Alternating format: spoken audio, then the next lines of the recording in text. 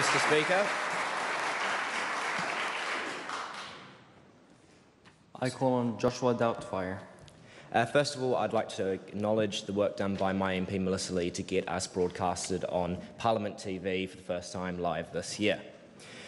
But, Mr. Speaker, climate change is our nuclear free moment. But it may well end up an apocalypse, not because of inaction, but because of the action of this bill.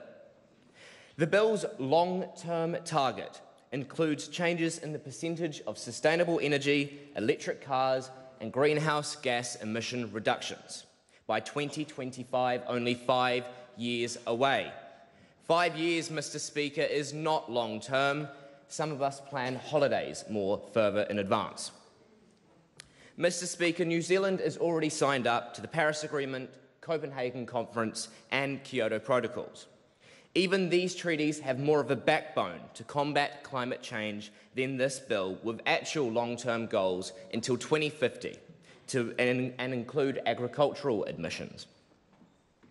Mr. Speaker, haste is not always a virtue. Having a more ambitious, attainable, and more thought out goals over a longer term is the answer. This bill will please neither those in the House who believe the poles are melting and will be underwater in 12 years, because it is not ambitious enough. And it will also trouble those, Mr. Speaker, who worry about any negative change, uh, changes of a climate bill. How are we to tackle climate change when this bill has no focus on agriculture, waste emissions, and a dull aim for transport?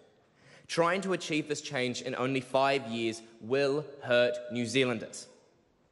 The increase in renewable energy does not take into account the extra demand in the power capacity required by the tens of thousands of electric vehicles this bill requires. If Kiwi Build showed us anything, it's that government construction is rather relaxed. So increasing power station capacity might prove us a struggle. A government forcing through fuel taxes and restrictions on non electric vehicles to meet quotas will cause regional inequality for those who do not have access to electric vehicles or their charge points.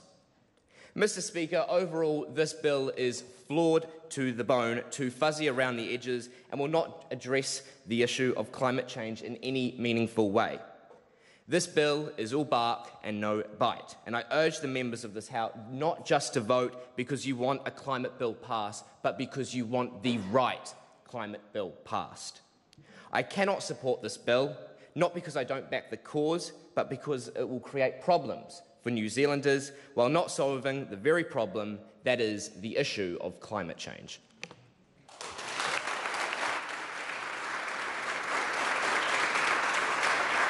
Mr. Speaker, I call on Molly Doyle. our planet is in a state of emergency.